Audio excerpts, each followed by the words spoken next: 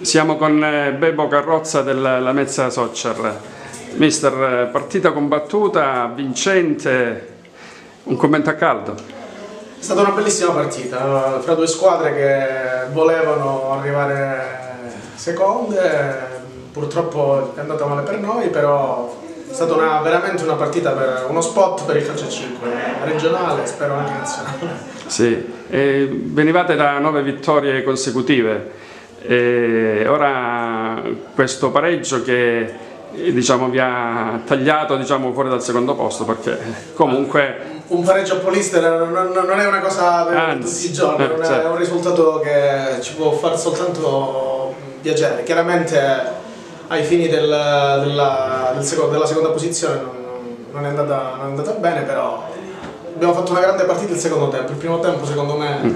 potevamo giocare molto meglio. Loro volevano vincere, ci hanno messo in difficoltà perché poi è giusto anche menzionare gli avversari. Sì, non sì. è sempre merito o demerito tuo.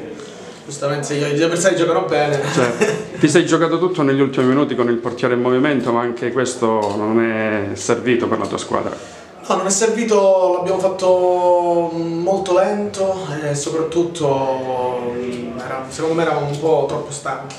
E loro hanno difeso bene, onestamente abbiamo fatto praticamente nulla, solo possesso. È una cosa che dovremmo vedere in allenamento, cerchiamo di migliorarci in lista di questi playoff per farlo, certo. per farlo meglio. Anche perché può darsi che ci si incontri di nuovo con il PCC. Facciamo gli scongiuri, ma io ve lo auguro perché vuol dire che, che siamo lì. E ora vediamo, mi sa che incontreremo la Casolese, altra grande squadra, come il Croton. Onestamente saranno due belle semifinali playoff.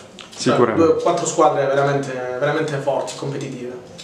Bene, Bebo, io ti ringrazio per la tua disponibilità. Grazie a te, grazie a te. E in bocca al lupo per la prossima. Crepi. A presto, arrivederci. Speriamo, speriamo a presto. Ciao.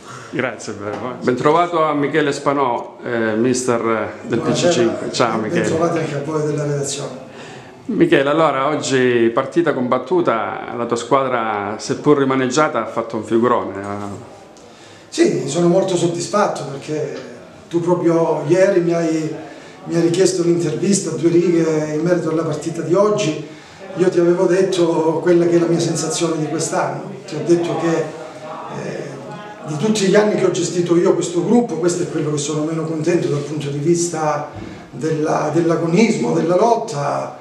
Eh, forse hanno recepito il messaggio che io volevo volevo dare a loro e oggi hanno risposto come rispondono di solito le mie squadre, eh, anche se il primo tempo bisogna essere cinici perché rispetto a loro abbiamo iniziato meglio, quando ti capitano quelle occasioni la devi mettere dentro, altrimenti poi fino alla fine devi stare con la paura che puoi perdere, puoi perdere la partita.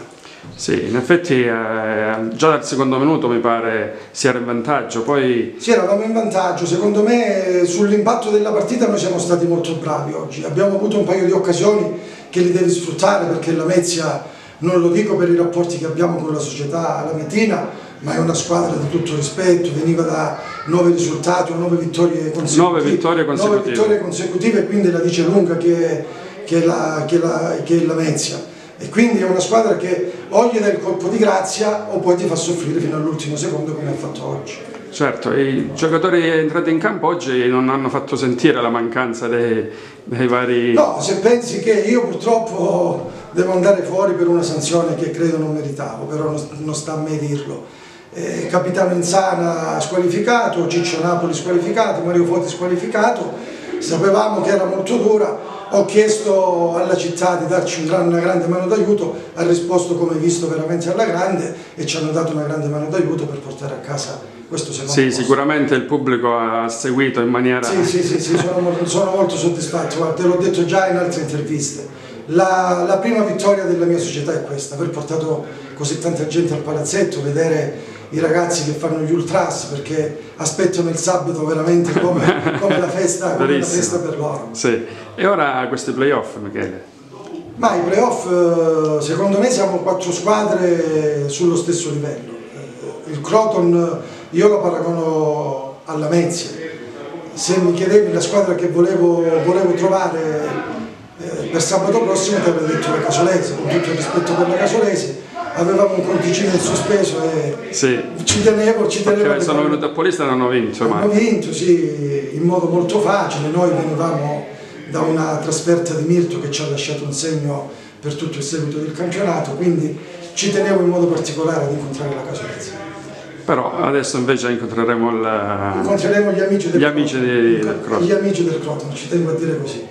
Bene, allora Michele, speriamo che per la tua squadra si prospetti un finale di stagione entusiasmante. Sì, spero che almeno queste due partite che rimangono posso avere la soddisfazione di dire ho ritrovato la mia squadra anche se in ritardo o sono riuscito a mandare il messaggio che volevo e durante l'anno non l'ho fatto per ovvi motivi, per più motivi di gestione di uomini, di spogliatoio ma uno come me che non ha mai fatto un corso, non, non, ho mai preso un libro per leggere, le squadre devono giocare con la mia logica e con la mia filosofia perché oggi ho visto, e con la tua grinta. Oggi ho visto che paga, quindi eh, le altre cose gliele lasciamo fare a chi ne sa fare.